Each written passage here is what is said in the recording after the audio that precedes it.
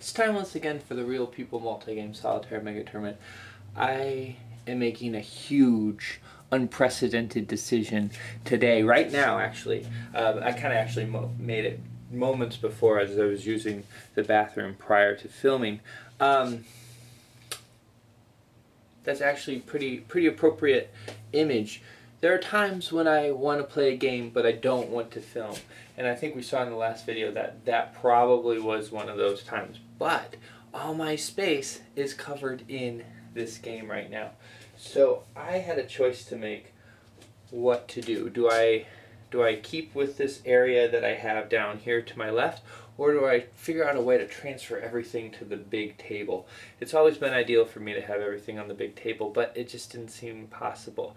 I've since rethought it. If I get rid of the Seven Wonders boards, it should be very possible. Um, we'll miss out on, on people being able to make their own wonders, and we'll, we won't have the variable um, player powers then. But you know, since they're they're kind of more of a cultural edifice that spans between these different empires, um, anyway, it's not really so important. They already have their different powers with their Duel of Ages people and with the different empires that they're able to get. I, I really like it, asymmetry in games. Um, I think that's important. Um, symmetrical games, I, am not going to go down that tangent. Anyway, it's just more interesting to me. So I, I, I think we'll be able to keep that asymmetry anyway, uh, even without the different boards. So, and I think you know if I do some some magic with the counters, I might be able to fit them, you know, all the stuff in their little player area. I just hope it doesn't get too messy. Alright, so it's a little bit more cluttered, especially, and it will be, it'll get even more so after I get um, these Duel of Ages cards you know, as more of those cycle in, and we'll get more and more Seven Wonders cards. Luckily, they're going to go away as people discard Empires. Hopefully, we'll make it work. I think it's for the best, though. Um, I really have been missing having another table to work with, and um, it, it'll make it kind of easier to think about too. Everything's right up here. You know, it's all there. I don't have to go back and forth, and I can I can see things when I'm doing someone's turn, and that will make things a lot easier, and I think it'll make their decisions, both in the Seven Wonders portion of the game and in the Seven Ages slash, you know, the other portion of the game, make a lot more sense. And then also, I think they'll be able to pick their card as they're picking their actions, which is how I originally intended. So um, the card picking and passing will be during. Um, the time when people are assigning their actions rather than before it, which will make for a more informed choice, and they'll have their cards on hand, which you know I was kind of just going from a vague memory before. So there we have it. That's that's pretty great. I did uh, I did make one other change. If you're going to try this at home, um, I gave everyone this round the um, I went through all the decks and kind of pulled out the cards so that they would have the their automatic resource. How I'll do this in the future, I think, is when you start out, um, you'll have you know one card of each resource, shuffle it up, and deal one to each person, and then you have that taken care of. That way, they have something that they can work with to start out with, um, rather than starting with nothing, because then you know you pretty much have to get brown cards right away, right? The first turn you would need to get a brown card, or I guess you could take some of these yellow as well. Alright, so I went around with the cards. Definitely liking it better. I'm, i feel like I'm making more informed decisions on behalf of our real people contestants here by being able to see all the information in front of me when I make the choices, including the cards that are in their hands and blah, blah, blah, blah. Um, you know, basically, you know, we're getting down to, to people just kind of, they're having fewer choices. They had three cards to choose from. Um, see, when we get here, I think this turn, or this turn, they're not going to have any more cards to choose from. Uh, since they're they're essentially starting, they're doing hands of six instead of seven. There's going to be a, a, hand where they don't have anything. So I guess in the regular game you would just discard the final card. So I think it's it's actually going to be the same. No change. Sorry, I'm just talking. Um, one thing that happened is I looked the other way and let Cowboy take another tavern. Um, I could have said something, but I was you know, he's he seems so happy to have all this money. I don't know what he's going to do with it. Um, there's really going to be no end game point where where he can convert it into points, and we're not playing with the leaders expansion, which makes money um, a little more using money to, to get points more attractive. Um, because there are some cards that make it so you get more points for money than you would otherwise. Uh, so, but he likes having it. It makes him happy. And how can you resist that smile? So this is a round where turn order is very important. Um, reason why is because this is the round that someone can get the um, the black army. Uh, most people have gotten two empires going, and you can only get the black army if it's your third. Uh, unfortunately for Flush, he, I mean, kind of fortunately, but it makes him feel bad. He has the turn marker here, uh, which means, you know, if he had an Era 1 Empire, he could get the Black Army if he had another Empire here. Unfortunately, he doesn't, and he also doesn't have one in his hand, so he's not going to be able to start an Empire. Um, so that kicks it down to Kaz and Kat. She chose a wild card action. I'm not sure if she has an Era 1 Empire or not. She's definitely going to take it if she does. Doesn't look like it. Um, Melky also has it. Would be the poor. Yep. Yeah, he has the early Finns, so he's going to be able to take the Black Empire.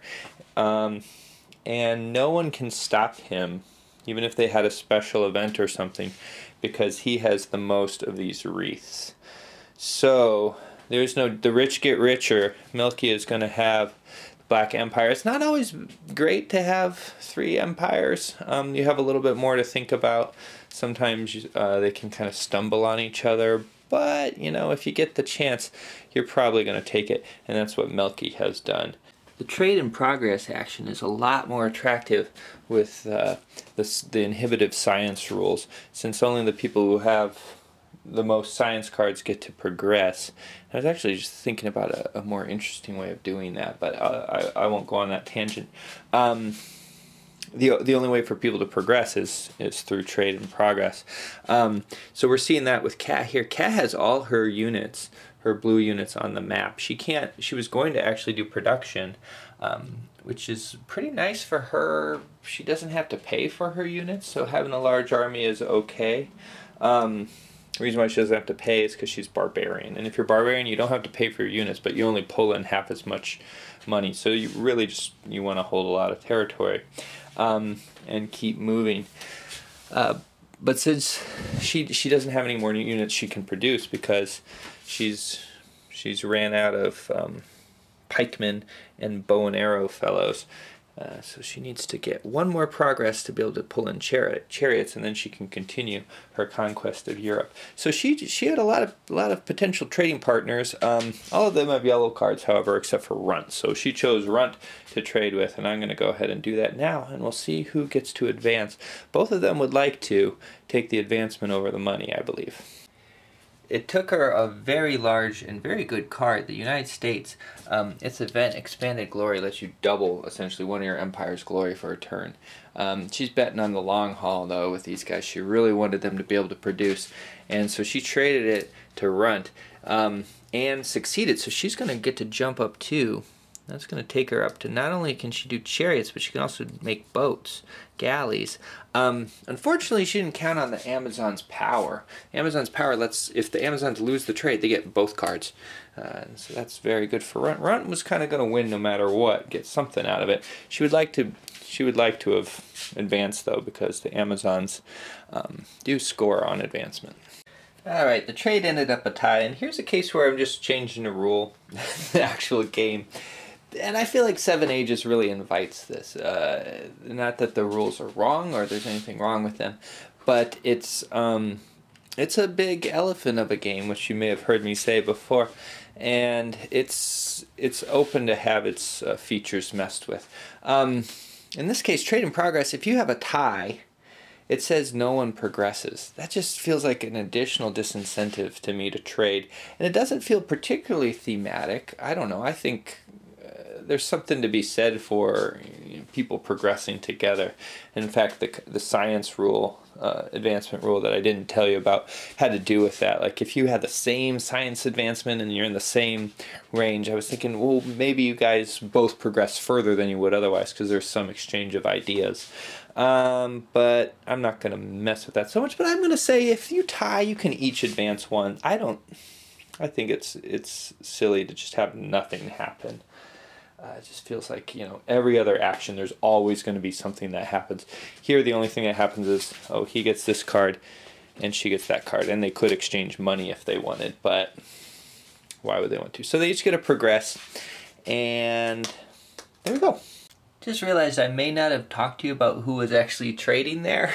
Um, that was the Harappans, which is giraffes people trading with the babylonians and we already know the result of that trade Giraffes Romans are about to maneuver. They are very hemmed in, and I just wanted to show you the situation here. So, um, over here she has the Greeks. Over here she has the um, Celts Gauls, which are Ca, as in cats. And then here she has the pirate state. Ca just moved into Gaul here. Um, disallowing her own her own Celts Gauls from being in Gaul, but she thought you know, she could have a kind of support the her barbarian friends there. Um, and so really the only place that she can move without fighting is to the Alps. And if she's in the Alps, she's you know, she's got three different forces, the Greeks, the Gauls, and the the pirates there. So she's got she's got some thinking to do uh, before she decides to move. She doesn't want Rome to just sit there though. Rome is no no wussy, but they there's these two empires that have this weird cultural connection that is Kaz and Cat that she really has to think about. Does she want to take them both on? Luckily, the Gauls are um, pretty spread out, and there's they're not going to be able to make any units for a while yet. Right. I thought Giraffe was going to go through the Alps and then into Burgundy here. Uh, Burgundy over this one, despite this guy's weakness, because going over a river is kind of dangerous. Um, but she's going right for Gaul. Gaul is going to produce more. It's harder to defend against and kind of risky. But what does a giraffe do other than stick its neck out? Um, part of what part of what bolstered her decision is she's got stronger units than the pirates. Uh, they're they're you know, they have an additional strength point per unit essentially. So, let me see if Cat has any cards to throw in. I already know Giraffe doesn't. She.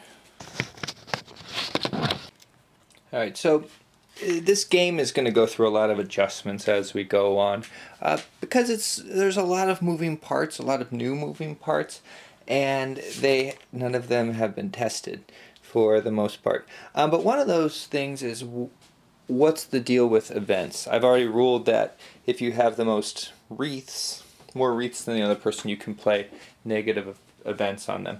But what about playing events on yourself when in conflict with someone else? That's one issue. And what about doing it in battle? Um, well, how I'm playing the battle cards is if it seems like something that's kind of, you know, just being more mi militant or uh, having more of more of a strategic culture or more military culture would help you, um, then you can play the card if you have more of these. Otherwise, um, if it's like an active god type of military card, which I think there probably are some, then it's going to go by those. So it's really it's really going to be hard to say if someone has a secret military advantage going in unless they have um, the advantage in both of those cards. So we have Schwerpunkt, which I had to look up what this means. It means Blitzkrieg, I think, because it went to a Blitzkrieg page when I did a search on it. Um, but that doesn't make sense because Blitzkrieg is already in German. So, but it's something related to the Blitzkrieg, I guess. I didn't I didn't read too long because I I want to be playing a game. Choose one side after forces are committed, but before they are revealed. That's that's a little different in this combat. During a round of conflict resolution, that side doubles its units values for that round. So basically what this is going to be doing is this is going to be making Capazoids guys twice as strong for this first round of combat. I don't know if Giraffe's going to be able to survive, but we'll see. This could be disastrous for the Romans. So she's got two, six, um, that's eight. So she has a total of 16. Giraffe sitting on six plus eight. That's 14. That's actually not bad. That, that only gives her a, an advantage of two. Uh, we're going to see what uh, Fate says. Ooh, not good for Cat. All right, so that's going to still give Giraffe the edge by one point. So, let's see. I guess she's going to have to lose one of these guys right here. And that's probably going to be the combat. Uh, she can go ahead and retreat, however, if she wants, and I think she is going to do that going to retreat these guys right back into there. And Giraffe has taken Gaul. So we are really seeing the importance of geography here um, in terms of how, how much of an advantage one has. Now, there are uh, some, some people would hypothesize or theorize, uh, depending on how much evidence they have, that being in an area with more competition would actually make for a stronger empire coming out of it. Here we see we can we can kind of gauge if that's really true. Um, under these these rules, I don't. I feel like in this case, it's not good to have the competition because you're going to try just as hard. I guess if we pulled back, everyone is in the same degree of competition on this glory track. So it's just whoever has more forces working against them. Um, but maybe if maybe if these players were actually played by different people and not all played by me, maybe they, their minds would be forced to work harder if they were in the Europe area where there's more competition than, than if they were off in India or China on their own. Uh, but then we are seeing that the, the leader right now is Melky, who is in the kind of this area right here. So I don't know, but interesting to think about just as a way of highlighting what I was talking about. So Giraffe used her whole maneuver action basically to take this one space, which is going to be worth uh, three bucks to her every time she does production in the future. And it's also a very tenuous space because it's between you know these two great forces that are allied. Um, Cowboy just did, or not Cowboy, sorry, Little Red just did his maneuver action for the Chow over in China. They're all stacked right there, and they were able to take you know this whole region all in the same amount of actions just because there weren't any people there. And how many how much is you going to be able to pull in for resources? Each of these is worth five. So you know she went to all that effort just to just to pull in three. Um, and I guess you can, if you wanted to really look at it, you could you could come up with some number that she gets on top of that by taking away from Ka, you know, because Ka's loss is her gain if you're if you're playing in a competitive environment. But she's getting uh, uh, Little Red's getting 5, 10, 15, 17, 19. He's going to be pulling in 19 more dollars during his production phase um, just from that one maneuver action because there's no one there and there's a lot of good resources there and that's just where the card he happened to get.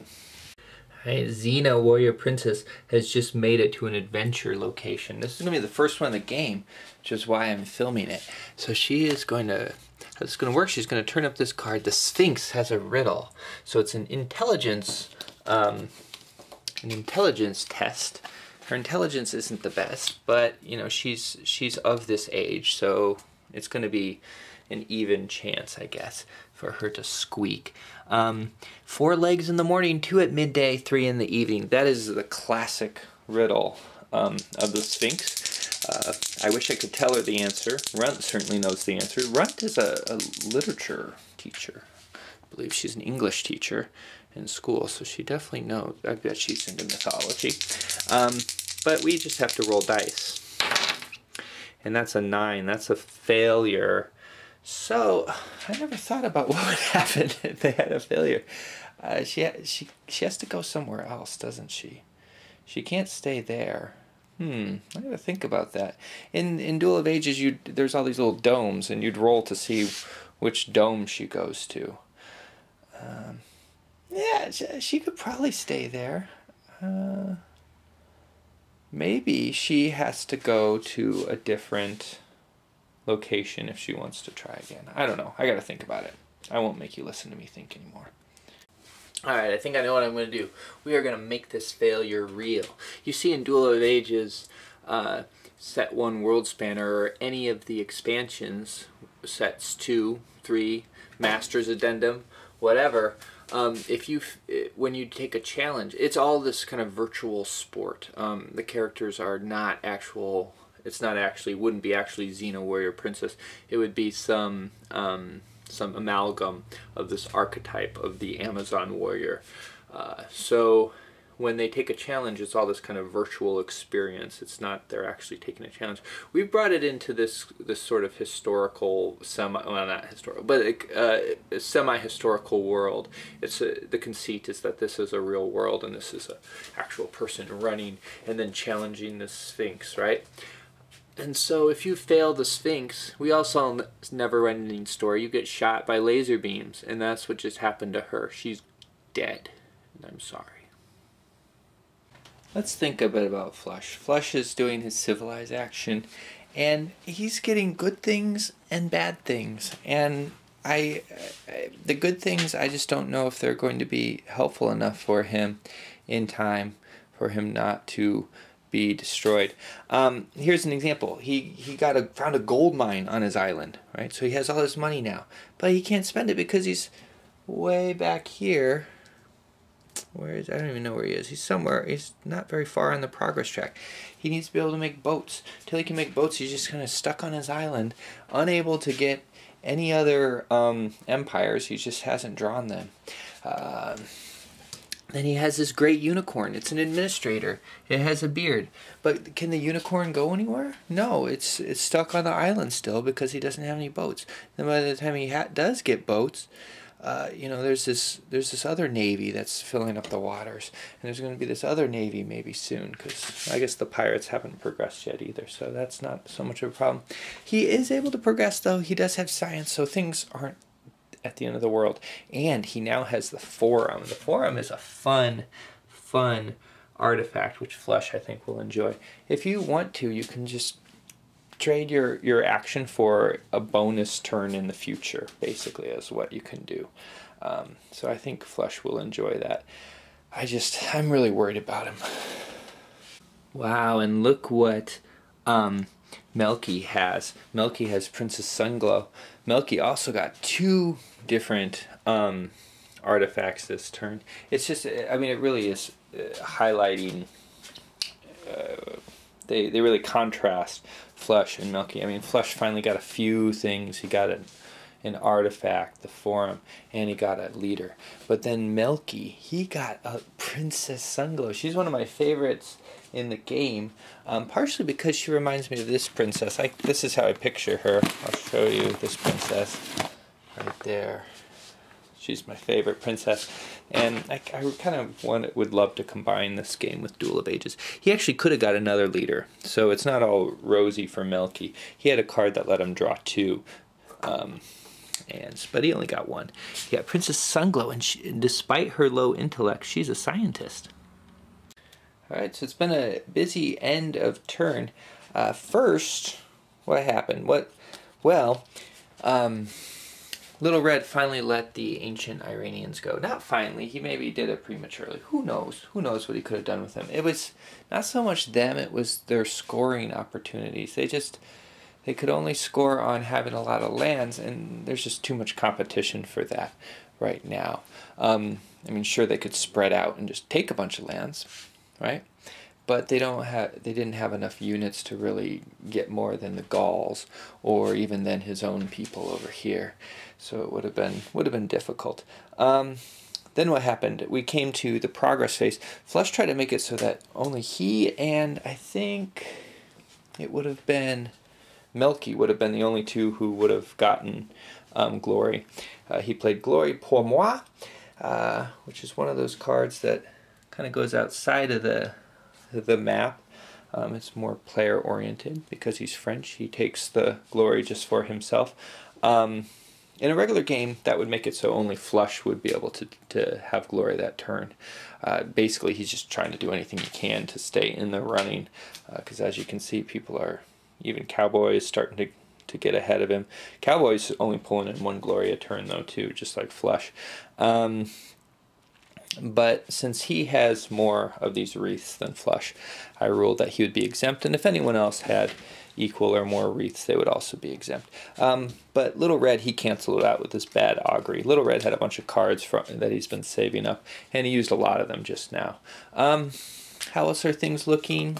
Uh, that little the the Iranians leaving the the leaving the game uh, oh, and that, that actually, since he discarded Empire, he should lose all of these.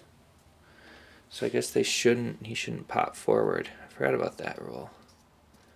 Yeah, so all of, um, all of Little Red's cards here are going to go away, except for, whoops, sorry tree, that's going to stay, because that's his starting resource. These are all going to go back into the deck. And next time there's a deal, these are going to be dealt out as well. So we'll put that there. Um, I forgot. Oh yeah, so Runt Runt is the the progress leader now, uh, which is helpful to her. She's going to want to hold on to her Pharaonic Egyptians. Um, Little Red did start the Nubians here, so that's going to give her that's going to make it less tempting to be the the Pharaonic Egyptians.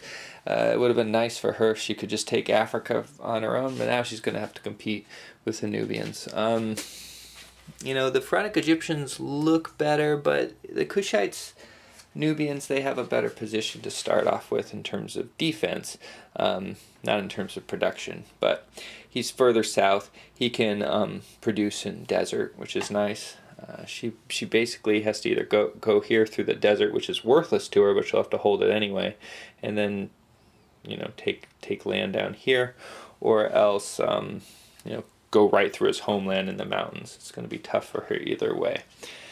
So that's how things are looking right now. When we end the turn, we have, you know, we still have Little Red and Giraffe capitalizing over here. Let's look at our glory track. Oh gosh, he took 10 in this turn, Melky. Um, he has Hanging Gardens in one of this in the Babylonians, and that, that lets him score on having no, he doesn't have Hanging Gardens. I, I think I made a mistake there.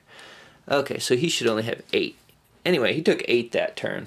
Um, who has Hanging Gardens? Does he have it somewhere else? It's so hard with these little tiny artifact markers when I go back and forth. Oh well, um, we won't worry about Hanging Gardens right now.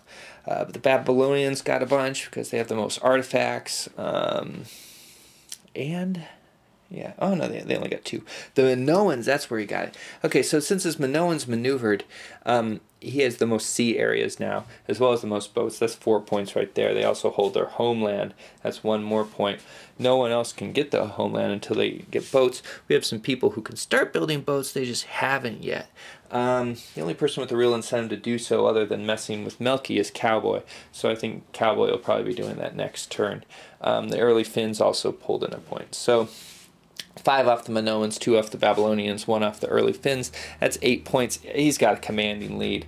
Again, the glory is only really good for staying in the game. Um, you know, I think right now he's got as much chance of staying in as say Runt or Giraffe. Though you know, things could change and and uh, Flush or Cowboy could catch up to them. That's where we are right now with seven by seven ages. We're in the Pope leg of the alpha bracket of the Real People Multi-Game Solitaire Mega Tournament.